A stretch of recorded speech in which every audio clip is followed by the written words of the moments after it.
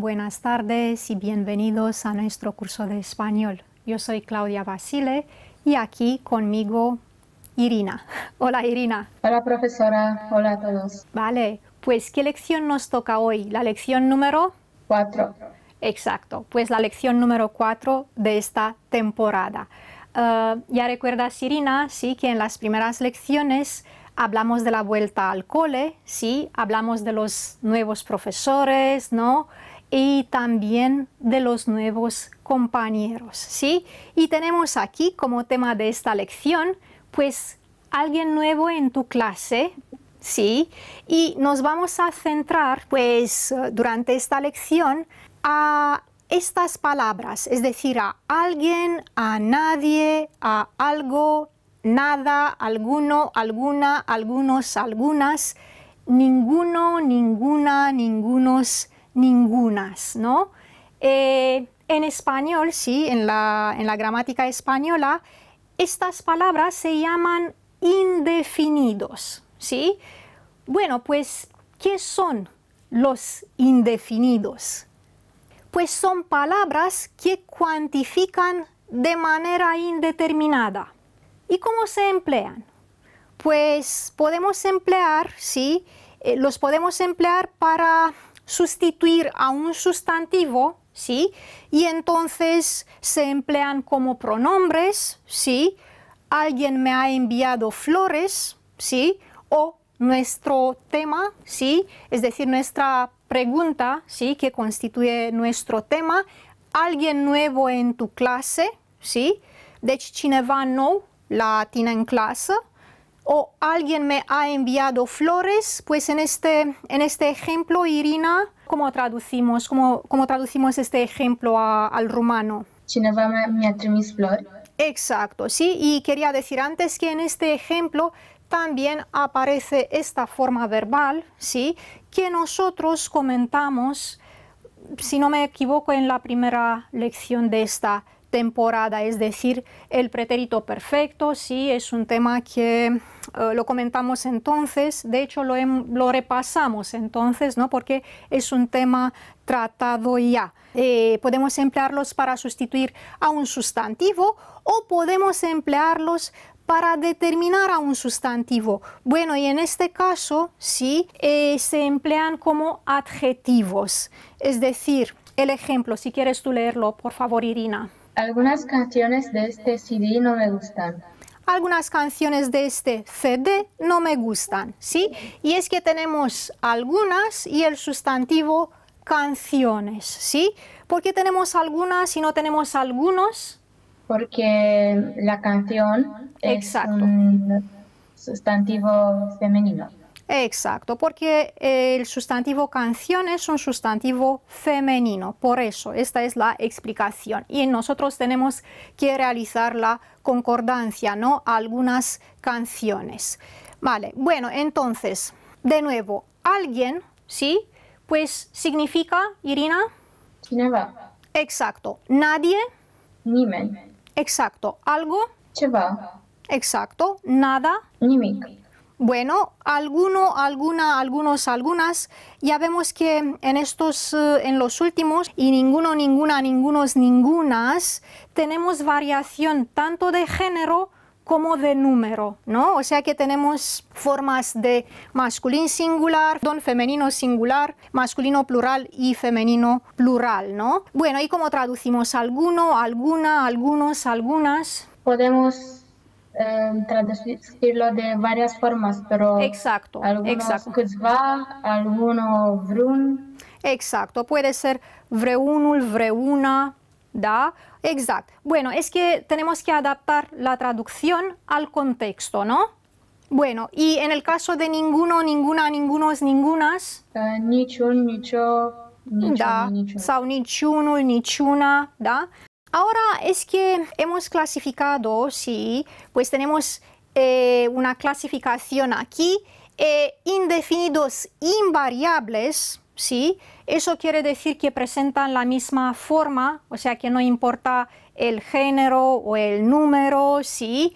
Eh, y en este, de, pues de esta categoría, sí, forman parte alguien, algo, nadie, nada, sí, que solo se emplean como pronombres. Aceste pronume nehotărâte se folosesc doar ca pronume, da? Deci cineva, ceva, nimeni, nimic. Hemos explicado a continuación que alguien y nadie se refieren siempre a personas, ¿sí?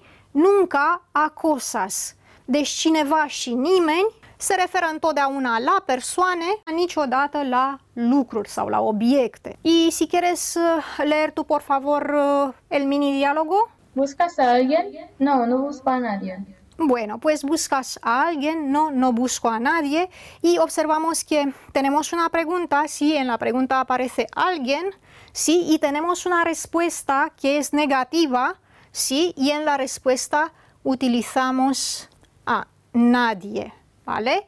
Bueno, y después es que tenemos algo, claro, que se opone a nada, igualmente alguien se opone a nadie, ¿no? Así, y los dos se refieren a cosas esta vez, no a personas, ¿no?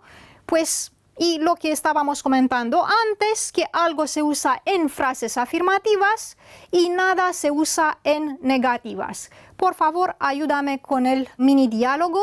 ¿Quieres algo? No, no quiero nada. Muy bien, exacto. Y de nuevo, pues algo, ¿sí? Y la respuesta negativa, no, no quiero nada. Y ahora, uh, para practicar un poquito estas formas, ¿sí?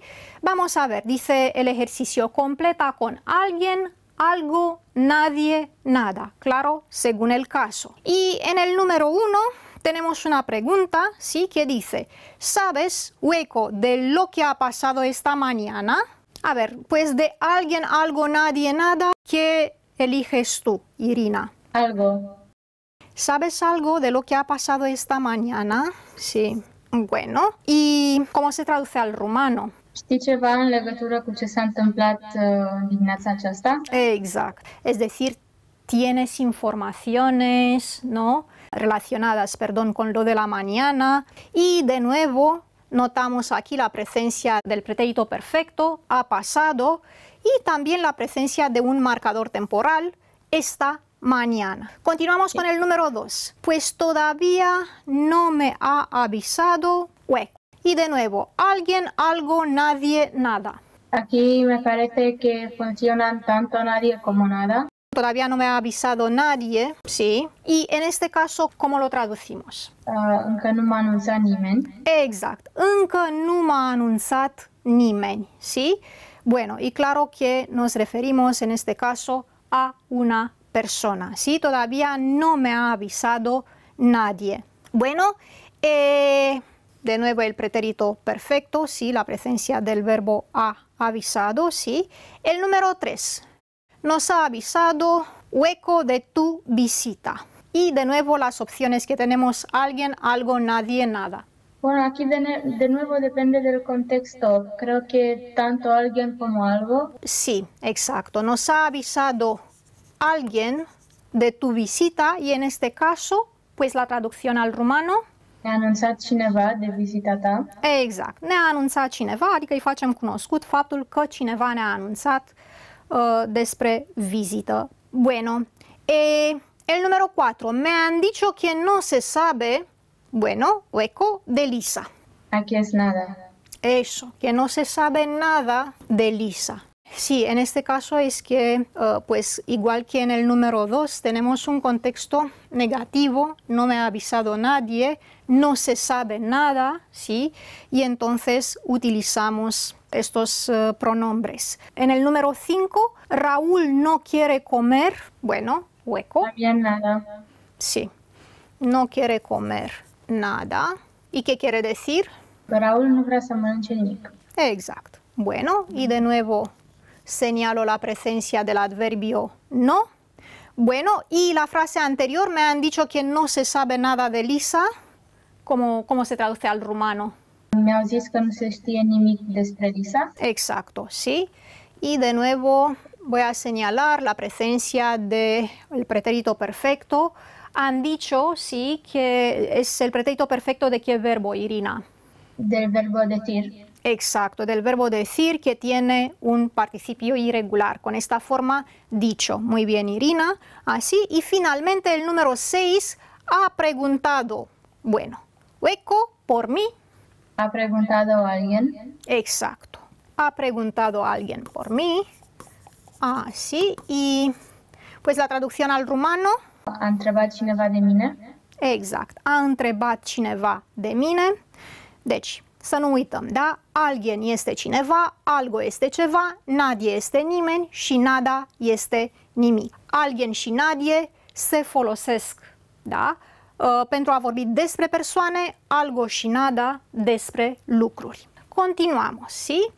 La otra categoría, porque la primera categoría uh, se llamaba indefinidos invariables, ¿sí?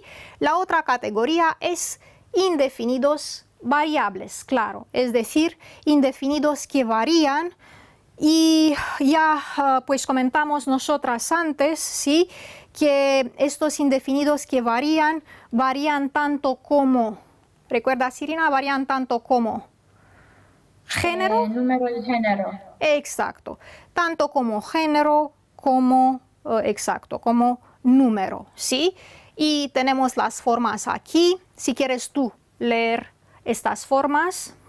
Alguno, alguna, algunos, algunas se refieren a personas o a cosas. Sí, muy bien, exacto. Es decir que estas formas, alguno, alguna, algunos, algunas, se refieren tanto a personas como a cosas, sí. Y eh, pues los ejemplos que tenemos aquí, a ver. ¿Has visto a alguno de mis amigos? ¿Has visto a alguno de mis amigos? A ver, ¿podemos ofrecer una, una respuesta? Sí, bueno, no la tenemos aquí, pero podemos nosotras ofrecer una respuesta a, a, esta pregunta. Bueno, la respuesta puede ser tanto negativa como afirmativa, pues como quieras tú, Irina, ¿sí? Sí, no, no he visto a ninguno. Muy bien, ¿sí?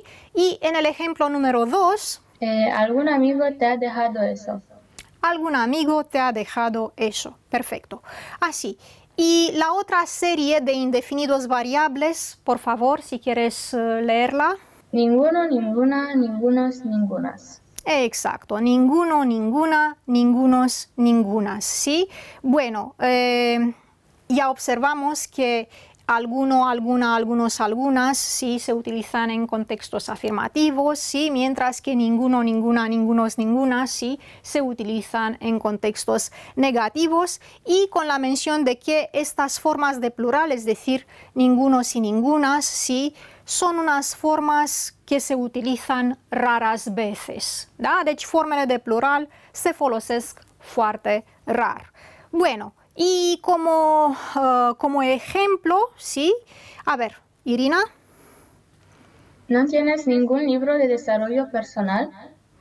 Bueno, y aquí sí que tenemos la respuesta. Desgraciadamente no tengo ninguno. Vale. Bueno, no tienes ningún libro de desarrollo personal. Desgraciadamente no tengo ninguno. Bueno, voy a subrayar estas formas, ¿sí? Alguno y algún, ¿sí? Ningún y ninguno, sí.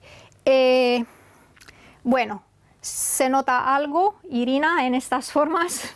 Un caso se trata de un adjetivo y en el otro caso de un pronombre. Muy bien, sí. Pues aquí tenemos un pronombre. ¿Has visto a alguno de mis amigos? También en uh, la respuesta de segundo mini diálogo, desgra desgraciadamente no tengo ninguno, ¿sí? Y en los otros casos, algún amigo y ningún libro, ¿sí? En este caso se trata de adjetivos, ¿sí? Y hemos puesto aquí ojo, atenție, se pierde la o final delante de un sustantivo masculino singular, da? Se pierde acel o final, adică acesta de aici, da? Uh, în fața unui substantiv masculin singular. Deci trebuie să fie poziționat în față, da? Și substantivul trebuie să fie de genul masculin și de numărul plural. En este caso tenemos amigo y en el segundo ejemplo tenemos libro, ¿sí? Pues los dos son sustantivos masculinos, ¿sí?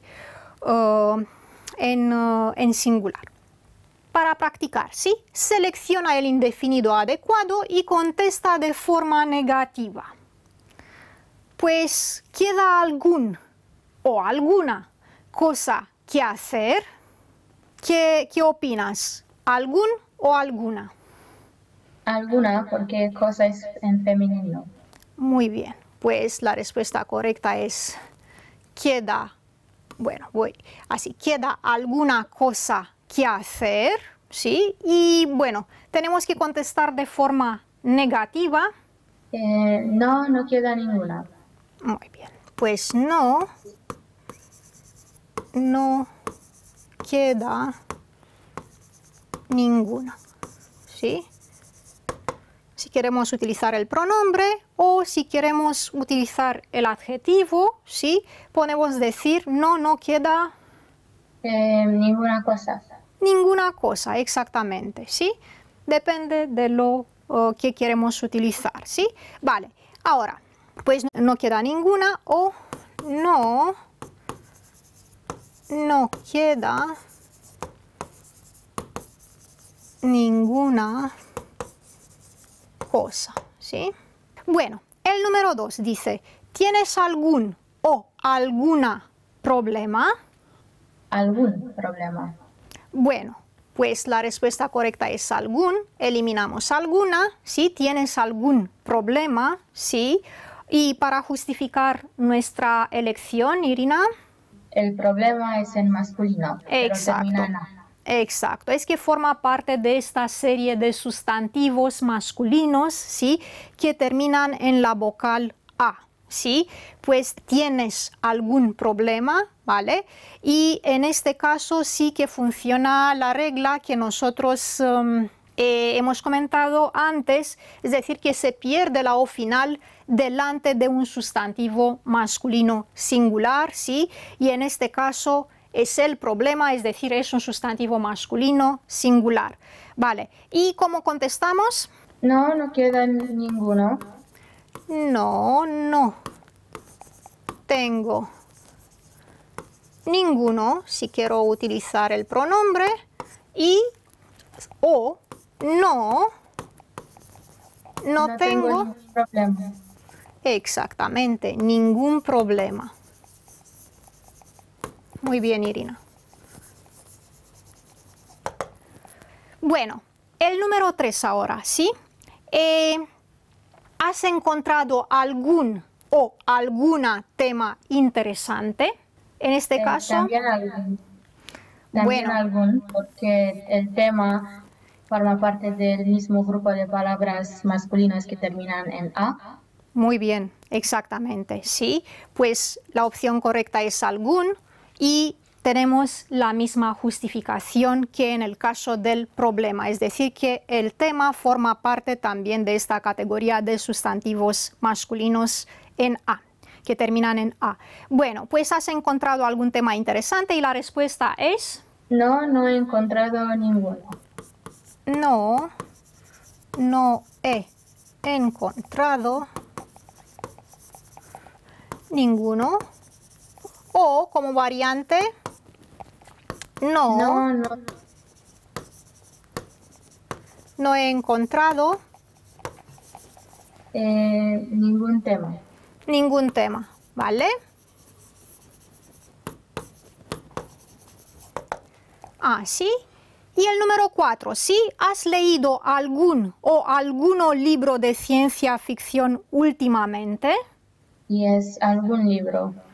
Bueno, eliminamos alguno, así, algún libro de ciencia ficción últimamente. Y la respuesta es, Irina, Eh, no, no he leído ninguno. no, no he leído ninguno. O no, no he leído ningún, libro. Exactamente. Muy bien, Irina. A ver, pues cuando utilizamos las formas negativas, nadie, nada, ninguno, ninguna, ningunos, ningunas, tenemos que prestar atención a su posición en, relación con el verbo, ¿sí? Es decir, que si en la primera posición, ¿sí? Si se encuentra eh, pues estas palabras negativas en la primera posición, es decir, delante del verbo, ya no se necesita, ¿sí? Doblar la negación, es decir, no voy a decir nadie no me ha visto, ¿sí? Solo digo nadie me ha visto, ¿sí? Y en el segundo, eh, en el segundo caso, cuando estas palabras negativas se encuentran detrás del verbo, no delante, ¿sí? Entonces sí que decimos no me ha visto nadie, ¿vale? Siempre tenemos que prestar atención, ¿sí? A estos dos aspectos en español, ¿vale? Pues el segundo caso se encuentra también en rumano, pero el primero no, ¿vale? Bueno, ahora, si quieres saber más, ¿sí? Tengo aquí eh, cinco ejemplos y digo, no puedo hablar más, estoy algo ocupado en este momento. Pues en este caso, algo quiere decir estoy un poco ocupado, ¿sí? Mi nuevo compañero no es nada simpático. En este caso, nada se utiliza para reforzar, ¿sí? Eh, esta información que yo ofrezco, es decir, que mi compañero no es simpático. No se ha portado nada bien. También para reforçar, da? nu s-a purtat deloc bine, da? Uh, noul meu coleg nu este deloc simpatic, los mariscos no me gusta nada, da? fructele de mare nu îmi plac deloc, ¿sí? Y esta película no me gusta y en este caso observamos que utilizamos la preposición para también para reforzar más, ¿sí? Más que nada, deci mai mult decât atunci când folosim doar nada, da? Când folosim și prepoziția para, Uh, subliniem și mai mult lucrul acesta. Esta película no me gusta para nada. Filmul ăsta nu-mi place chiar deloc. ¿Vale? Bueno, ya estamos, Irina. Gracias por tu presencia. Hasta luego. Hasta luego a todos vosotros. Nos vemos la próxima semana. Eh, no olvidéis, español, claro que sí.